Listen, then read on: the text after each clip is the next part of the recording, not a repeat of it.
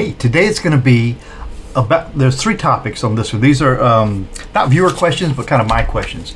And the first thing I want to know is uh, Prince Edward, the Duke of Edinburgh, is he going to be the Duke of Edinburgh? And the second thing is about George Santos's marriage. Is that how he got to his U.S. citizenship? Because um, I don't think he was ever not gay. And then uh, the third one is Mike Pence uh, those classified documents. And we'll do a few other questions along those lines too. So I hope you like the video. If you like the video, please do like the video. And if you haven't subscribed, please do subscribe. And thank you very much for watching.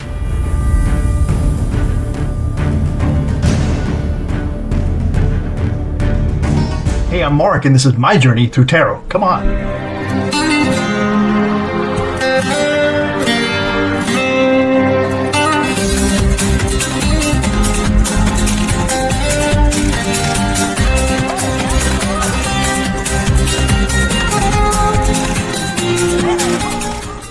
So the whole thing about Prince Edward is that his father, uh, the Duke of Edinburgh, when he was alive, uh, had promised him that he would get that uh, dukedom uh, when he was gone. It would go over to him.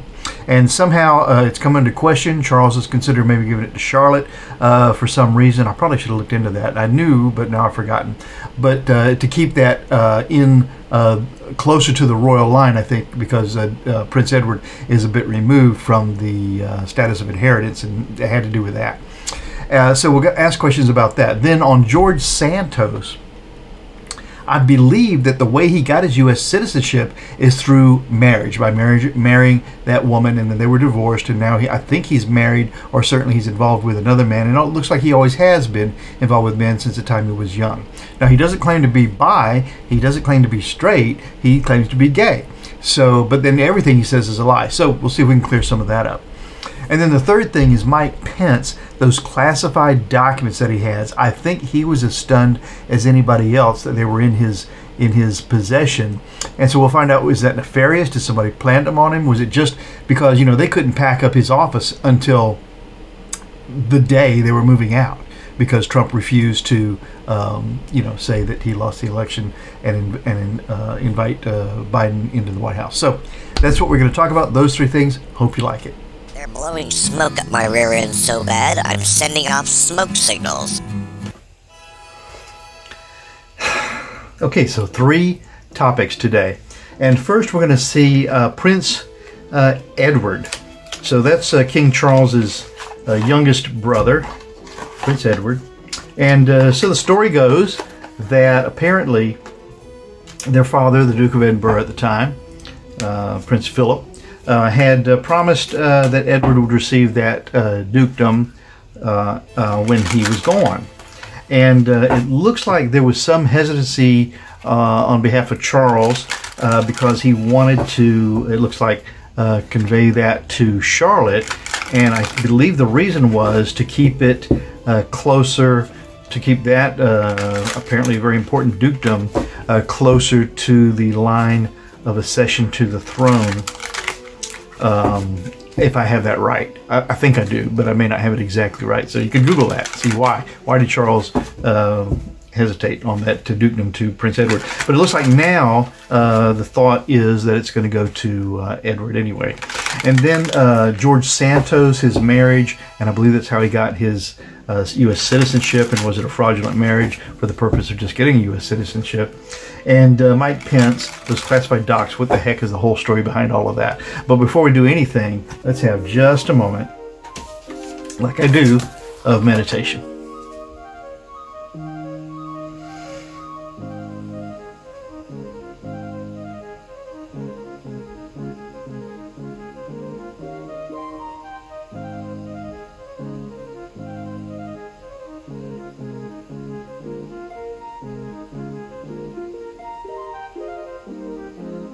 Okay. So yeah, let's jump right into that uh, Prince Edward uh, situation. So what can the cards tell us? It's not so much about Prince Edward, and it's not so much about Charles-ish, but it's kind of um, the decision for this um, hesitancy with that uh, dukedom, uh, Prince of Ed, Ed, is it Prince of Edinburgh, I guess. Um, so, what is the reasoning behind that? What can the cards tell us along those lines? Let's first do uh, a couple, three cards maybe uh, about that. What can the cards tell us about the hesitancy of giving that dukedom to uh, Edward? First card, Knight of Wands. So this is planning. Wands are plans, actions, forward movement. The Knight is the fighter for those things. And so this is the Knight of Wands, a Knight of Plans, someone willing to fight for that action. Who is this? Is this Prince Edward? Is this uh, Philip from uh, Beyond? Uh, let's see what else we get. So another card the Page of Cups. Well, that's interesting because it was a surprise. Cups are emotional, compassionate, and the Page of Cups always has a little surprise getting ready to jump out of there. And this was just a whisper. The page is just a suggestion, just an idea that's come to the royal court's uh, attention and uh, for it to perhaps act on. So, was there some some uh, someone brought this idea to King uh, Charles? Uh, it looks like. Put them in the order that we're going to draw them, and then the final card for this situation is right here, moving out of troubled water. And this is the Six of Swords, truth, justice, rules, and law. So, um, yeah, so this seems to speak to that a little bit in my mind. And what it says is that uh, something came to the attention of King Charles regarding this dukedom was, uh, you know, should he perhaps not uh, let it go the way his father had decided? And um, I've got a in the back of my mind. I keep thinking that yeah, Charles seems to be a wishy-washy uh, decider. Okay, it looks like he makes decisions before he's fully thought them through. I could be totally wrong. Just what's coming to my head, and that uh, and so right off the bat, he had this uh, power to not uh, give that uh, dukedom to Edward, and halted uh, until he had time to think about it more. And somehow the word got out because of all the people behind the scenes running that firm. So, so that's the idea. The idea came to the attention of the court. Uh, it was a surprise. Uh, it was it, it's a it's a, a compassionate, um, uh, very emotional situation. Meant a lot to Edward, and that dukedom is an important dukedom. And um, the whole idea was to move the whole thing out of troubled water. And what are we moving out of troubled water? Is, is Charles moving his popularity uh, out of troubled water into something else? The public would see him going against the wishes of his father as as a as a you know a difficult thing. So that's how that seems to me. I think that accounts for the wishy-washy uh, nature of this decision. You know uh, that uh, his father would have discussed it with the Queen. There would have been a lot of thought gone into that for his father leaving his will, I believe. And uh, and so why does Charles feel that he needs to uh, chew it over again when a lot of careful decision went into it originally? So let's do uh, six cards, and hopefully the cards will tell us if it'll go to uh, Edward and any other uh, along that way. So six cards for a dyadic cross. So one, two, three, four, five, six. And you know, I talked more about this specific edition of cards at the end of the video. This was the, the are the cards designed specifically uh, in this exact way by Pamela Colman Smith, who uh, came up with these uh, depictions uh, at the behest of uh, uh, Waite, and um, and so it's pretty interesting how I come about these cards and how they came to me, how they were packaged. But anyway, back to uh, Prince uh, Edward and this dukedom. The signifier card then. Ah, is exactly what I said. So this is the hangman. The signifier of this issue is looking at things from another perspective. For some reason, it was thought, let's chew this over again. Let's look at this this appointment um, a bit more. Let's take another gaze at it from another perspective. The uh, challenge to that is exactly that card that we just had, and it's exactly right. The fighter for the uh, for that uh, uh, plan. Okay, and I think this is in fact Edward. I think he would have come back to his brother and said, "Listen, Dad left it to me, and I hope that you'll reconsider." The basis of this whole thing is victory. Okay, it is victory. Charles is looking to, and uh, wands are actions, plans, forward movement. Six of wands is uh, symbolizes victory very much for me. And uh, and so this is Charles saying, how can I rack up as many victories and keep myself in a good public light um, always. And in the past of this reading for this issue is, oh yeah. So the Four of, of, Swords is waiting, knowing when to stop and take a breath and not move forward until you really consider to think carefully. You've got the three swords here, uh, warning you not to get up at the peril of being damaged by them, and then one sword by your side for protection, kind of. So yeah, that kind of makes sense. In the sky of this reading for uh, this Prince Edward situation, King of Wands, yeah, Charles. Charles wants to be known as the king making the decisions. He it was something in him that didn't want to leave the decision up to his father. Uh, he wanted to make sure he put his stamp on that decision. That's very interesting. And then the likely outcome of this thing is uh, ah, okay, we're going to have to do four more cards. So is um, Wands, actions, plans, forward movement, and the Five of Wands is uh, my Australian friends would say argy bargy would say pointless arguing, pointless uh, mulling the thing over, uh, wrestling with the decision. You know, it, it was made. Uh, it didn't have to be rethought. So uh, four more cards. Uh, let's just see if specifically the cards will say that yes, Prince Edward will get that appointment, that dukedom, that it will go to his family. I think the idea is that they didn't because because that could be inherited by Prince Edward's son, and I believe there's some talk that perhaps now uh, he may go ahead and grant it uh, to Prince Edward, but with the proviso, proviso that it come back to the crown uh, once Prince Edward is gone and not be inherited uh, by Prince Edward's son. I believe that could be the case. Let's see. So, um, four more cards to more specifically look at if it's going to go to Prince Edward and if they can tell us about what happens when Prince Edward goes. Signifier of that is uh, an abuse of power. Yeah, uh, five of uh, swords, truth, justice, rules, and law, and this is an abuse of power. So this is Charles taking his power to a place that it, maybe it wasn't necessarily uh, didn't need to go. What's that in the environment of? It's in the environment of Ah, the 10, yeah, this is perfect. It's weird how the cards come out this way. Uh, pentacles are uh, can be wealth, which that dukedom is associated with a good deal of wealth, and generational value. So it speaks exactly to what I was just saying. Very bizarre, sends a chill down my uh, spine. So yeah, so the Ten of uh, Pentacles is generational uh, value and in fact familial wealth and it looks like that is the question. So uh, this abuse of power, this hesitancy on the part of uh, Charles was due to this thought of uh, this uh, generational uh, value um, uh, that brings with that dukedom. The hopes and the fears for all of this then is what? Ah, okay, so the hopes and the fears is that um, if he does give it to Edward. The Five of Cups here. Cups are emotional, compassionate situations. If he does give it to Edward, it has been mentioned that proviso, that proviso, however you like to pronounce it, that um, that it wouldn't be inherited by his heir, but it would return back to the crown. And so this is represented here by a good deal of the of the compassionate, emotional value of that appointment uh, being lost, spilt, but with some value being left to carry on with, and that would be the wealth that comes with that uh, position would certainly be something Edward could make good use of in his life. Uh, and then the final outcome, let's hope this tells us the final uh, decision. Going to take it right from here, is, oh, this is interesting.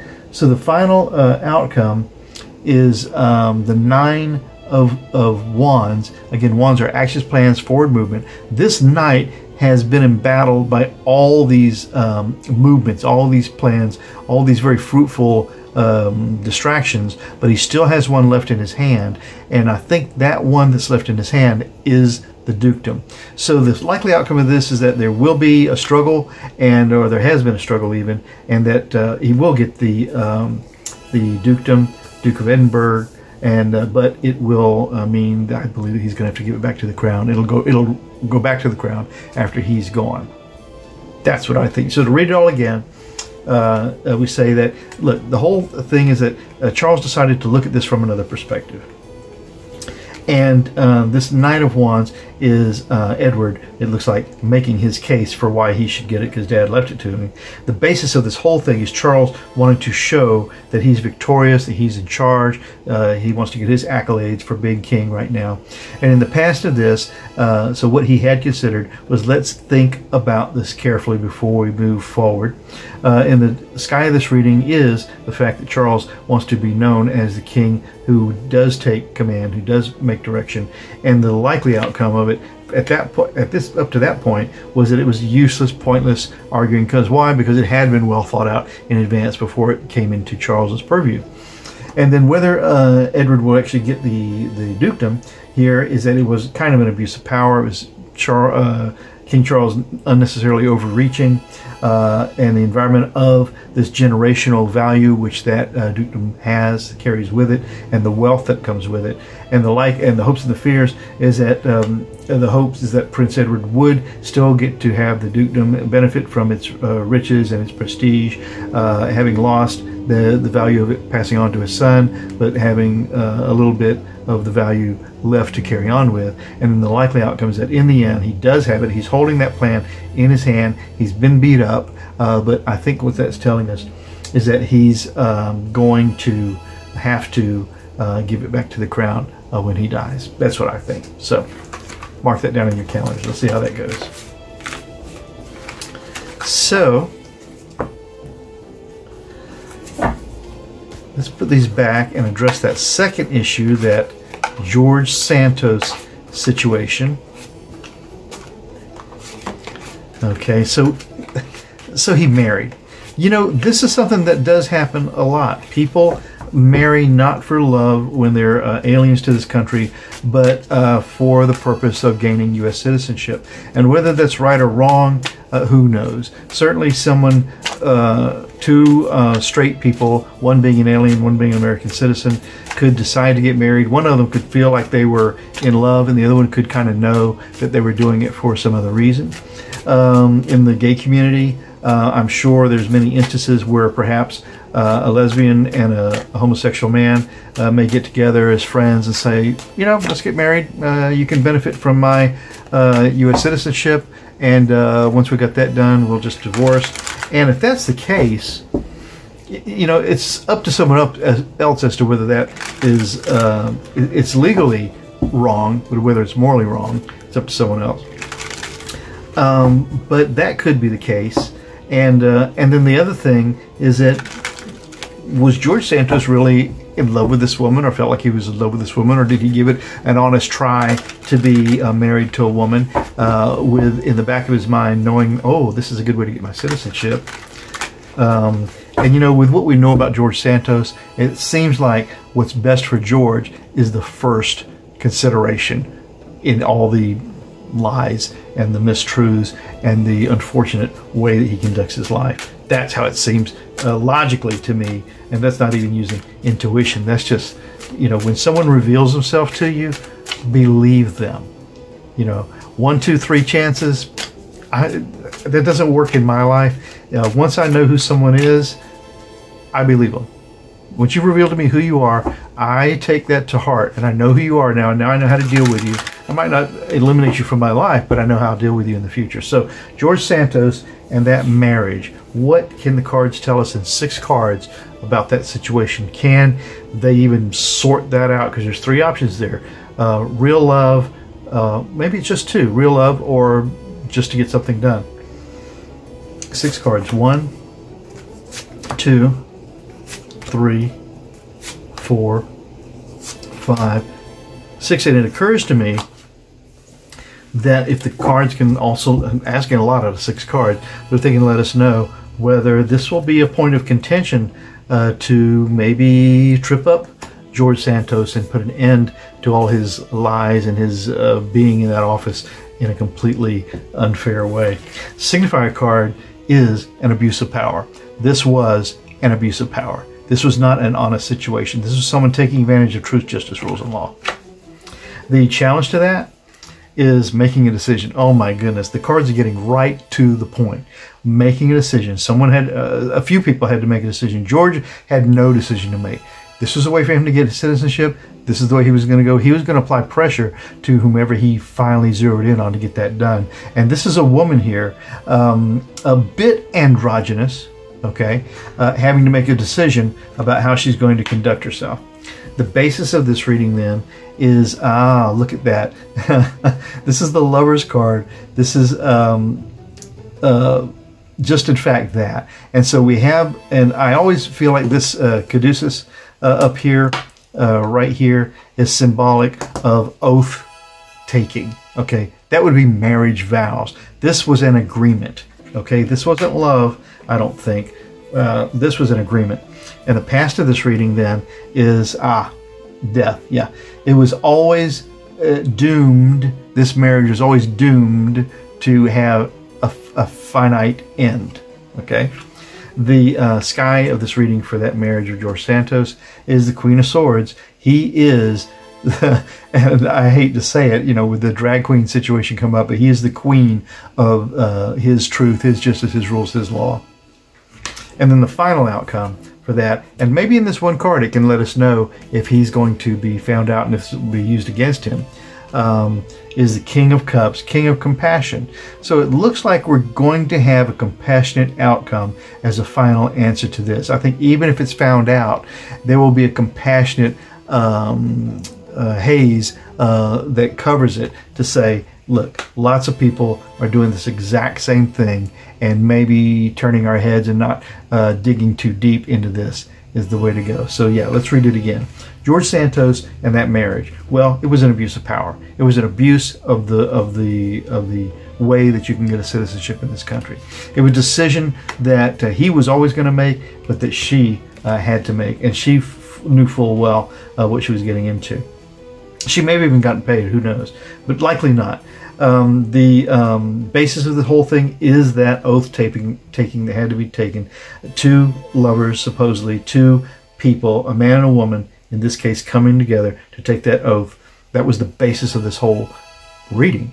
And in the past of this was that it was always doomed to have a finite end. It was never going to be a marriage for the ages. In the sky of this was George Santos himself taking truth, justice, rules, and law into his own hands. And then the final outcome is that it probably won't be held against him. Uh, there will be a compassionate, uh, with this King of Cups, a compassionate layer over all of this. And this won't be the item, if there isn't one, in fact, that takes him down. Interesting. Now, the final thing we're going to talk about is Mike Pence. Okay, Mike Pence and those documents that uh, were found after he had an interview on television and saying, and probably he really didn't think that he had anything. He was hesitant in his answer in an interview I saw on television when someone asked him if he had any documents. He was like, uh, "No, I didn't. Take, No, I no, uh, no, I didn't take anything." It was very hesitant, but then that's how he he answers everything anyway. So Mike Pence in six cards, those classified documents. What can the cards tell us about that? What can the cards say about Mike Pence? Okay, six cards. One, two, three, four, five, and six. Mike Pence and the classified documents. What can the cards say about that? Signifier card. Okay, King of Swords, truth, justice, rules, and law. I think this is Pence. I think this is Pence feeling like he is a truth teller. The challenge to that six of, six of uh, cups. Cups are emotional, compassionate, and so this is is wanting things to be the way they were. When we think about things the way they were, we usually have an idealized image of a better time when things were better, when things were clearer, and when, and when things were uh, nostalgic. And I think that's the haze that perhaps Mike Pence lives in. So the challenge to him uh, being the ruler of his truth, justice, rules, law is this fog, uh, maybe a dysfunctional um, way of thinking about the past. Oh, wow, when the cards repeat. So a decision had to be made. Okay, so the basis of this whole thing is the decision that was made to take those things uh, to uh, with him when he left the office. Who made that decision? since we're talking about Mike Pence directly, I'm going to say maybe he made the decision. I still find it hard to think that he made the decision knowing that there were classified documents in there, but let's see what the cards finish telling us. In the past of this reading, judgment. Judgment.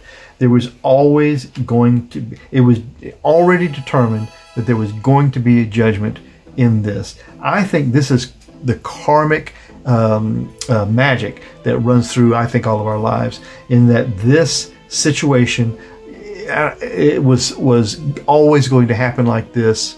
Um, that's it.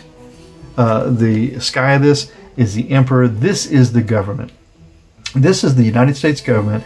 This is the emperor is the is the one who signifies to us that this is how things are going to be done. When the emperor says it so, it will be so. And so this is the government uh, really ruling over this whole reading. And the final outcome then is temperance. There will be a balance. There will be a um, in in the in the uh, situation of Mike Pence having those uh, classified documents. It will be balanced out to see do it, this isn't saying we're going to go full bore and prosecute this guy for some misdeed that he took. No, there will be a compassionate cups are compassion, water is is emotion, and so there will be a compassionate temperance applied to this whole thing. Let's read it again. So Mike Pence in the classified documents. Well, he is, wants to be, thinks he is, as a matter of fact, the king of his truth, justice, rules, and law.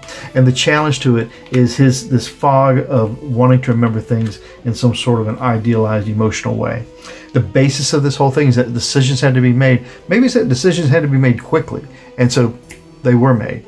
And then the past of this is just showing us that there was a karmic judgment that was always going to be applied, and was even perhaps even the reason why this happened, and and and is revealed now. In the sky of this is the emperor, which is the um, the government uh, that's re- what that represents to me in this reading. Uh, the government is going to rule over this. The law of the land is what's going to make the decisions, and the decisions will be tempered with an emotional, uh, compassionate um, flavor. So that I think is uh, is a very good answer to those questions uh, today. I like the way all of that came out. Well, those are the three questions for today. The next video I do is going to be about the British royal family, but it's centered around your viewer questions. So stay tuned for that one. Hey, I'm going to show you the cards now. So this is one of my all-time favorite uh, decks. So this is the Smith Waite uh, Tarot deck, the Centennial Edition. And um, there's two boxes here, and I'll explain what happened. Is uh, when I was ordering uh, uh, this uh, deck, um, I think I think it was Amazon. I'm not 100 percent sure. But um, it wasn't clear that, that one of the things I was ordering was just a deck of cards, and the other thing I was ordering was a commemorative set. Okay, so uh, we'll talk about them separately. So the cards themselves are terrific. So these are, as you may have heard me say if you've watched some of my videos and watched me use these cards, uh, these cards are the um, supposed to be the uh, most true to the original artwork of Pamela Colman Smith. This is her initial, Pamela Colman Smith. Uh, th- these are the closest to her original artwork or interpretation that she and um, and uh, uh, Waite uh, came to agreements on for the way they would be depicted. Before I turn these over, I'm going to tell you. So one of the things I love about cards is when you, there's something special you can use the cards for, a special way you can identify with the cards that's only secret to you. Maybe I shouldn't like that, but I do like that. For instance, uh, these cards, you can tell from the back of these cards whether they are upright or whether they are inverted before you flip them over. And here's how. In this uh, little um, uh, flourish here, uh, it's almost a rose and a rose. It reminds me a little bit of the Tudor rose, but it's, it's not quite that. But uh, if you are looking at this card, the back of this card, and you see this little leaf is, is sort of pointing in front of this signature, then you know that this card, when you flip it over, is going to be upright. However, if you see that the leaf is pointing behind the signature, you know that this card is going to be inverted. So see, a quick glance, it's not very obvious to you. But once you look at it for a minute and you know that secret, now you know what's going to happen when you turn this card over. So let's use an example. This one is pointing um, before the signature. So we can see that this card is in the upright position. This one is pointing after the signature, and you can see that it's in the inverted position. So, so there you go. Now, the cards themselves are great. I mean, I love the coloring of the cards. They've got kind of a, a grayish, um, a brownish gray overtone, almost a misty, kind of a London fog kind of a feel to the overall. It's like someone painted the cards and then went back and did a treatment on them to make them look kind of. So I'm not. I don't know if that's how Pamela Colman Smith uh, created the art. I haven't seen her original art for this. Obviously, um, I'm sure some people have. But um, but that's what's great about these cards. It kind of gives them a built-in patina that's not real. You know, it's fake, but it still makes them nice and mystical. And so uh, that's what's interesting about these cards. Now, the uh, at first I was disappointed that I had ordered two um, sets of the same cards, but then um, I understood that it was a good thing, and I'll show you why that is. Okay, so now this is the commemorative set of the Pamela Colman Smith uh, artist of the Rider Waite Tarot deck, uh, featuring the Smith Waite Tarot Centennial Edition deck, which is this. So uh, it comes in this amazing amazing container. I mean, I can't even really call it a box. It's, it's like a beautiful showcasing a lifetime of artwork by Cam, Pamela Colman Smith. And um, so it's really cool. And wait till you see how it works. So you open this treasure chest up, and you've got this beautiful uh, finish here, and you got wonderful little tabs where you can pull back the uh, the covers and see what's inside. And what is inside is a, a pack of the cards. Uh, and in truth, what's happened is um, these were the cards that were wrapped up inside this box, and uh, these cards uh, came in that box. But um, I got this first, and so I wanted to use the cards, so I opened it up, and oh, look at that. And I don't like that. This has to be tucked down in there. So there's a couple things that aren't perfect. But uh, so I took the cards out of here, opened it up, started using them, and then the other cards came, and I realized, oh, well, I can make this a complete set if I put these in here. What's in here? of course, you have the cards, and uh, then you have a nice little bag uh, to keep them in if uh, if that's how you're going to keep your cards. And so many people do, but uh, I've just chosen to try to leave these cards in kind of a pristine condition. And then on this side is where all the treasure happens. The first thing you have is this booklet, The Artwork in Times of Pamela Colman Smith, artist of the tarot, tarot of the Rider Waite Tarot Deck by Stuart R. Kaplan and Lynn uh, Arjo, I suppose. So this is who wrote this book. In this book, it tells you all about, uh, you know, not all about, but it's, it's, it's, it's a very good information about Pamela Colman Smith. It's a lot of her art that's not related to tarot and explanations of how that art came to be. I mean, this is just a fascinating book and I love it. I love it a lot.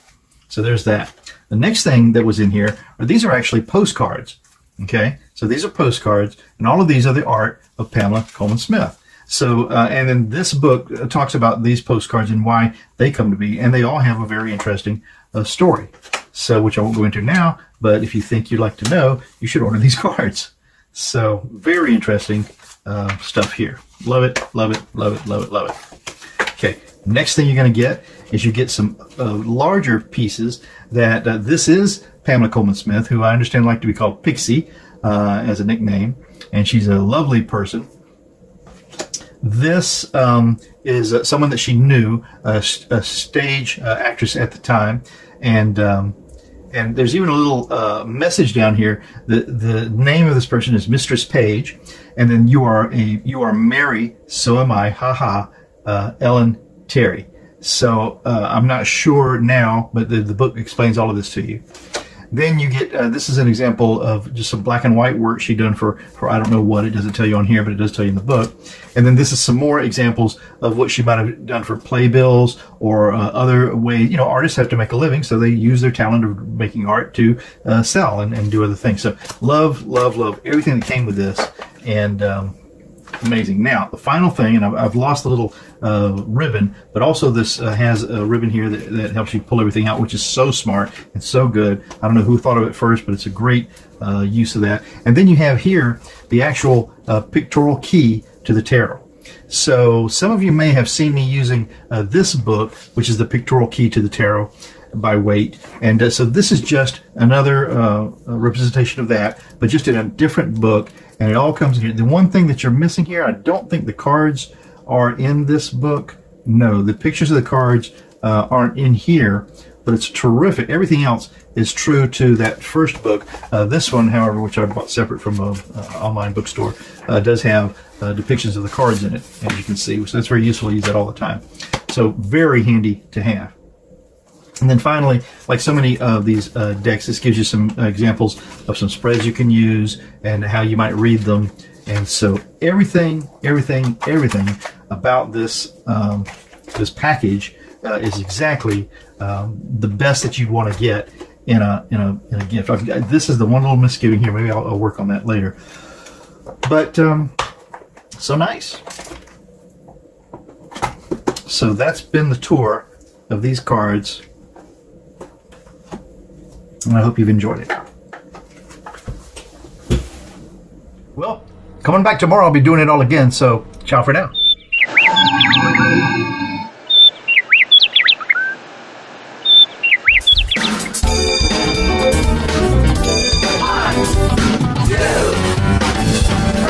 You really make a big difference. Thank you.